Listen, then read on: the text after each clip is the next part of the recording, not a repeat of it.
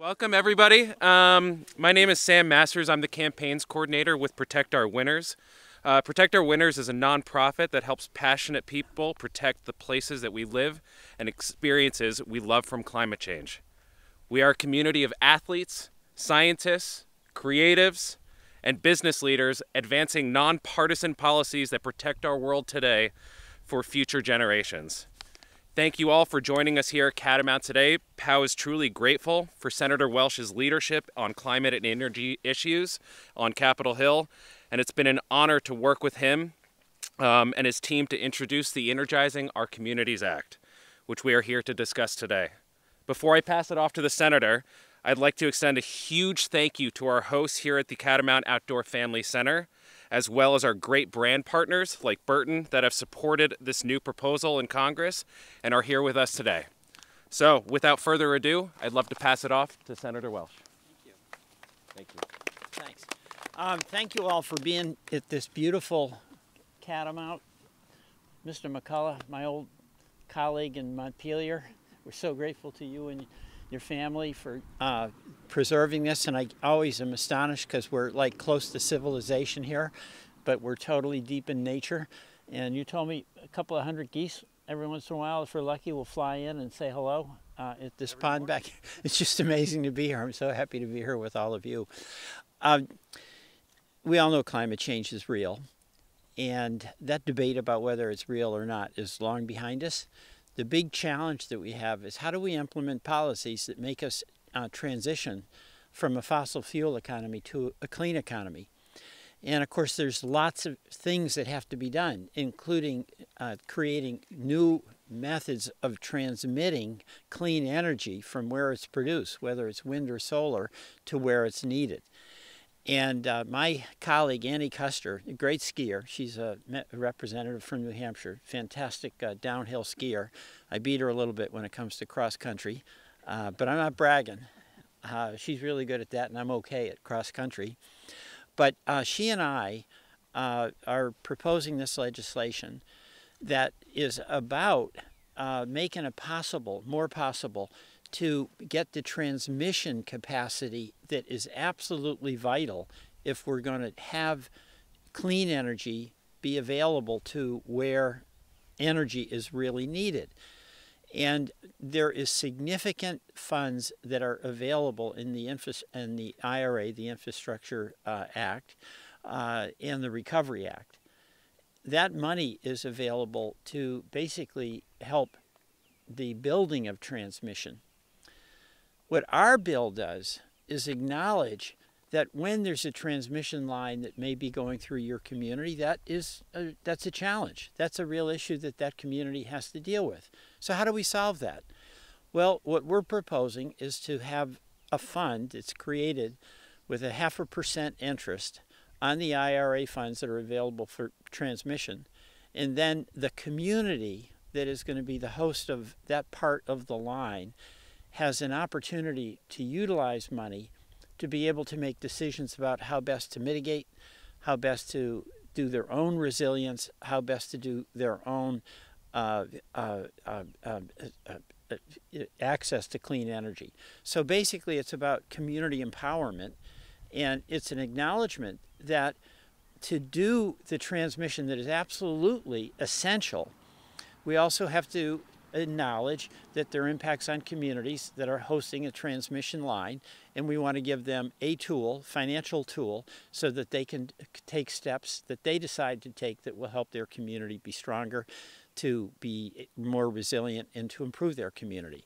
So this uh, effort uh, is all about working with Protect Our Winters that has been such an advocate uh, about the urgency of climate change and the urgency that we face to address it. And we all know what's happening. You know, the season here at Catamount, the season, the skiing season in Vermont was a lot uh, less than it was uh, in years past. Uh, and that's a threat to our economy. I mean, and it's also a threat to our way of life. You know, most Vermonters, they grow up skiing and uh, they don't, that's going to be a distant memory. We don't want that to happen. Protect Our Winters uh, is uh, outdoor recreation folks across the entire country that are working together. And it includes uh, some high profile Olympic uh, athletes who have contributed uh, their name and advocacy uh, to the effort that all of us have to engage in in whatever practical way we can to mitigate and reverse climate change. So I'm delighted to be here uh, and to be the sponsor with my colleague Annie Kuster of New Hampshire for uh, this legislation that's going to be helpful in building out that transmission that's all about getting clean energy from where it's produced to where it's going to be utilized. So thank you very much and thank you uh, Catamount for hosting us today.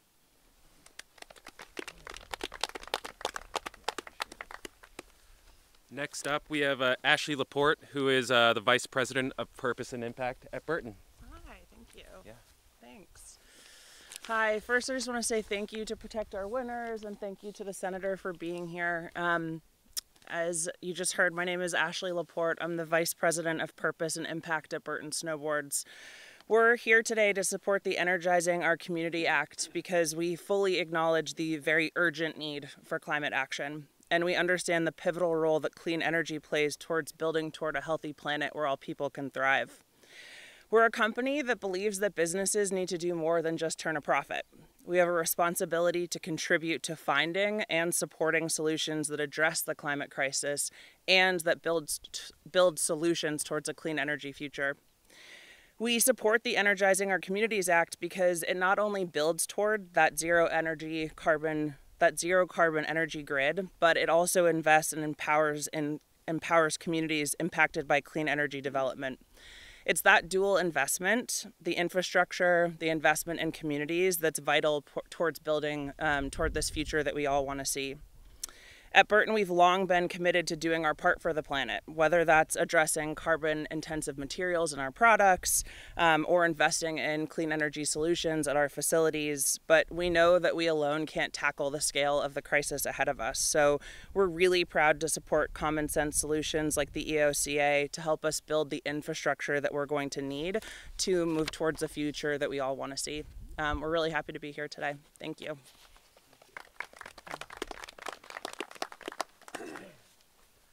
And next, we'd love to introduce one of our esteemed Alliance members, Blake, and also a guide at Mark Synnott Mountain Guides.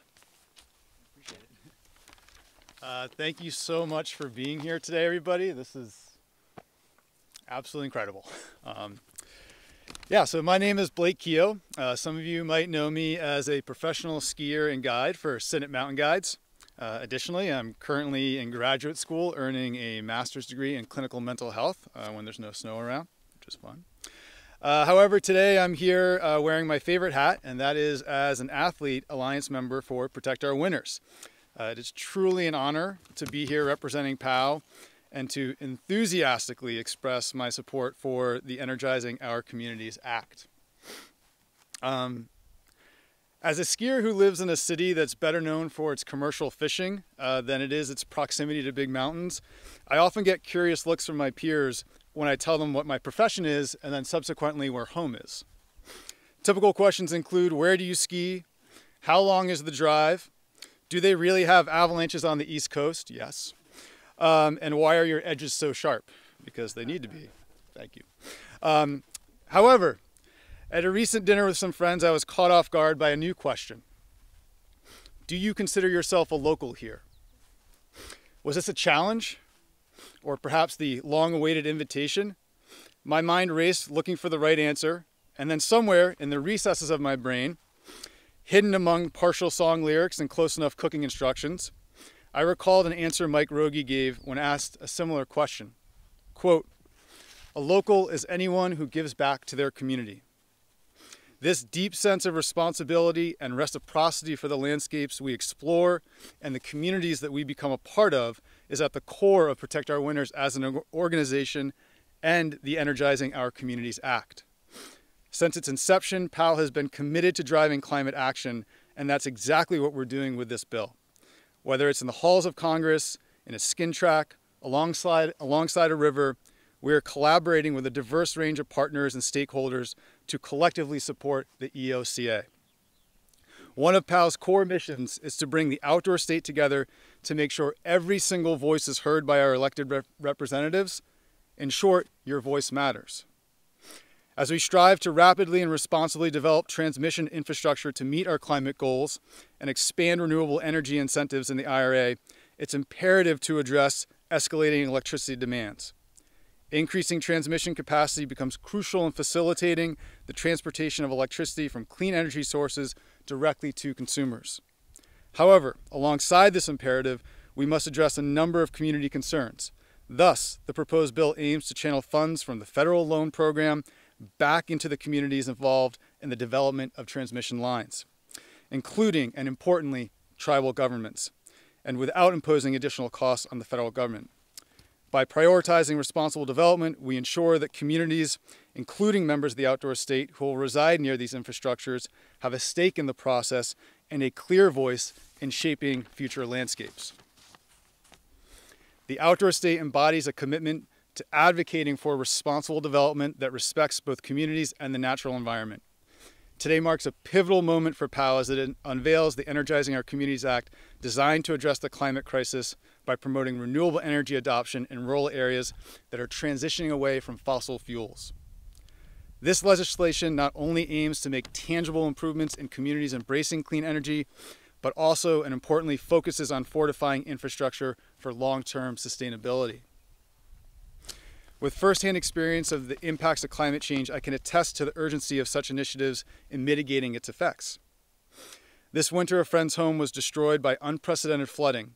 During and during that same storm, I sent urgent text messages to friends throughout New Hampshire, Vermont, and Maine to make sure they're okay. Then on January 13th, I watched the combination of three inches of rain, 60 mile per hour winds, and record breaking high tides inundate communities up and down the Maine coast. Many of our neighbors are still recovering.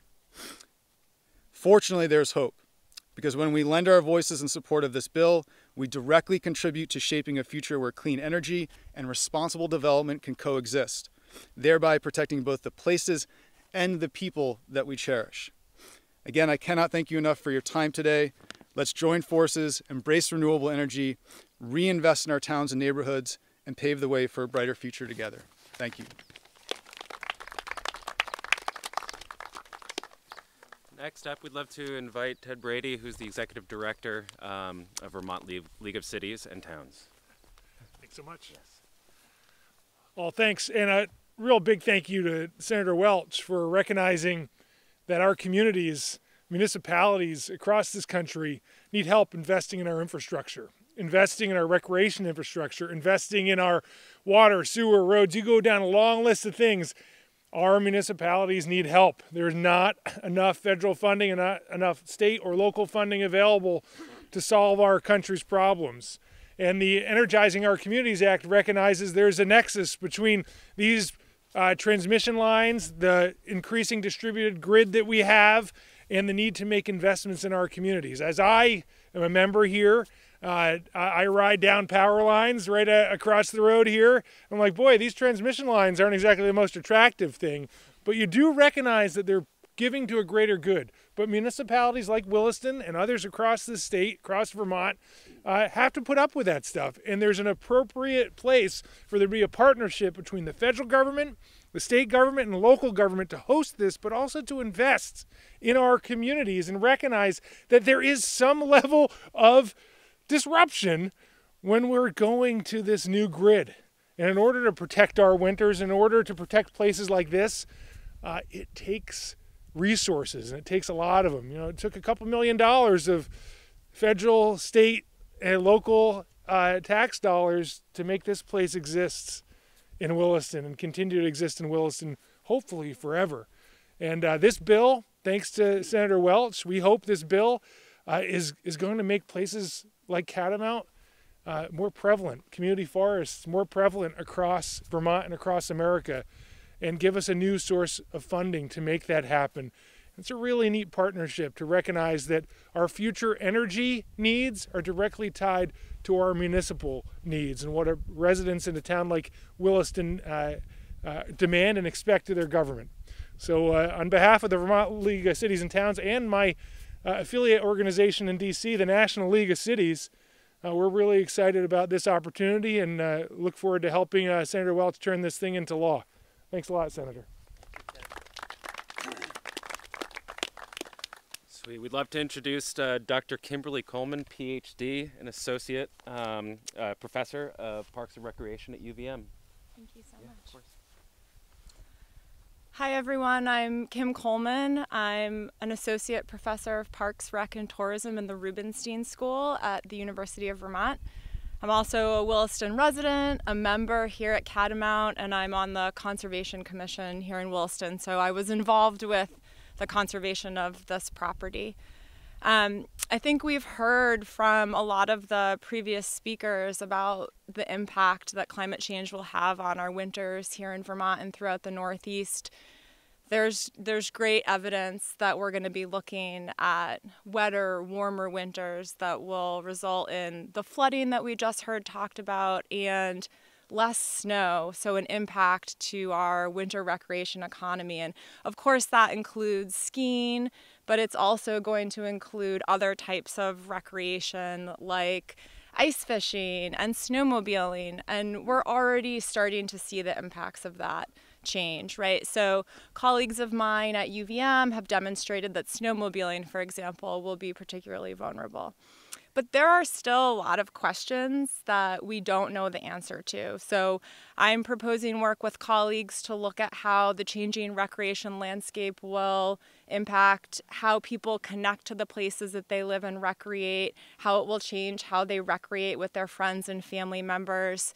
And there's just a lot of unanswered questions in this space. And so I was really excited to read in this legislation that there's provisions to support workforce development and workforce training because we're going to need the best, brightest minds to try to answer these questions and solve these problems. And so I really, um, I'm, I'm really excited that Senator Welch had the vision to include that and the provision for conservation in this legislation. And I hope that as a community, we can all come together and think about what these changes are going to mean for Vermont and create a more resilient future. Thank you. Next up, uh, John Atkinson, Director of Catamount Outdoor Family Center. Yeah. Good morning, everyone. Welcome to the uh, Catamount Outdoor Family Center and the Catamount Community Forest. Uh, I'm John Atkinson, the Executive Director of the nonprofit Outdoor Center here. Uh, the Catamount Outdoor, Outdoor Family Center was founded in 1978 by the McCullough family. Thank you, Jim and Lucy. um, and first as a cross-country ski area, then quickly moving into year-round operations um, but still with winter as a primary focus and revenue producer here. In 2019, Jim and Lucy helped conserve nearly 400 acres of, of land uh, in this incredible mix of forest and fields that were uh, around us here and trails, and that would likely have been carved up into house sites if not for their work and sacrifice. This created the Catamount Community Forest, uh, which is now owned by the town of Williston and, and is public land. Um, and we're lucky that they uh, both still live right here and, uh, and can share their, their histories. Um, the story of climate change is, re is reflected in their struggles and, and now our struggles to uh, sustain an outdoor recreation center um, with year-round operations in Vermont. However, winter is still, uh, we, we like to think of it as our most important season. Um, there used to be reliable snow and cold weather in Chittenden County, uh, but clear warming trends have significantly reduced the length and consistency of winter for us the Catamount Outdoor Family Center is on the leading edge of warming for Vermont ski areas.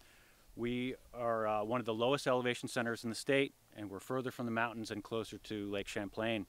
Uh, we have had dry ground uh, this past winter in all months of the winter, um, and uh, barely a month total of skiing throughout. Uh, we were only able to uh, roll pack the snow a few times and really only groom it once, and that one grooming was in the spring after winter had officially ended during a late March storm. And before that storm, we had dry, frost-free ground here in March in Vermont. If anybody is familiar with when mud season usually happens in Vermont, it is not done in March. Um, so uh, mud season really is no longer even a thing for us. It's not a season, it's cycles. We start in December and we end in March now. Um, so if we're looking for change uh, within our seasons, um, we need a new song, right? We have a stick season song, we need a mud season. but uh, so uh, last winter wasn't uh, dramatically better for us either. And uh, even with the La Nina winter uh, predicted for 2025, uh, we can't really rely on winter as a source of, of revenue any longer. Um, it is so the, the chances are too big that we will fail if we, if we keep hoping that it will support us um, going forward and our trails, programs, camps, and clinics um, will, will uh, struggle because of that. Winter is no longer a promise for us. Um, it's a bonus at best. And uh, as we transition towards a more spring, summer, and fall-based revenue system, um, we have been further challenged by climate change. Uh, heavy rains fell here throughout uh, the summer and fall, um, and additional downpours during December caused uh, more damage here. Um, so the problem is not just warming, it's the inconsistency of the seasonal weather that um, also presents a major challenge. Um, we can call this just complaining about weather, but it's not only a few tough periods to whine about for us. Um, hearing Jim and Lucy stories about how things used to be not all that long ago um, and how they are starting to see it change really uh, help illustrate um, our predicament here. This legislation um, that helps reduce our carbon footprint and moves us towards a more sustainable future is vital for us and for, uh, for our neighbors and, and everyone around us. Um, I'd like to thank you all for coming today, and uh, please, if you have a few minutes before you leave, wander the trails and enjoy the place. Thank you. We would now love to welcome Jim and Lucy McCullough, founders um, of, uh, of Catamount. Thank you. Of course. Thank you. Yeah. Well, it is baseball season, so I can't help myself. I, I'm doing cleanup today, but we all know Senator Welch is the heavy hitter. So, welcome, Senator. Good to be here. Oh, jeez. Thank you. POW. Protect our winters. POW. Prisoners of war. Please join me for a few seconds to honor those people around the globe who are prisoners of war and prisoners of political um, dictators. And think of their healthy, happy return soon to their families. Please join me for a moment.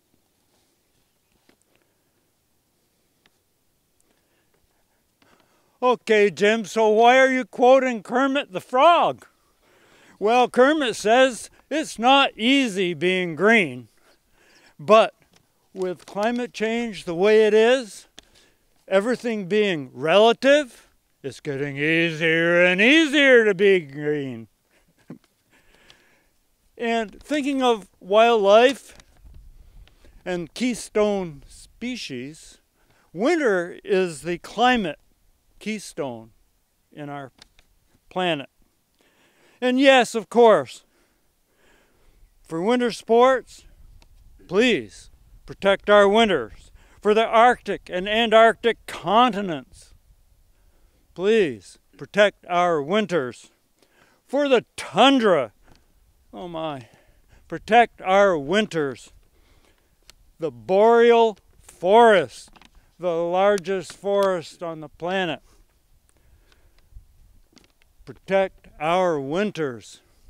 It's shrinking and dying, along with all the critters that live there. For our glaciers, for the hot and dry areas, protect our winters. For the diminishing worldwide potable water life that sustains us as we stand here today. Protect our winters. For all manner of plant and wildlife, for all our future generations, we must protect our winters. Today, we must adopt zero tolerance for the exceedance of 1.5 degrees Celsius as proposed in Paris. Protect our winters, protect our planet. Thank you, family.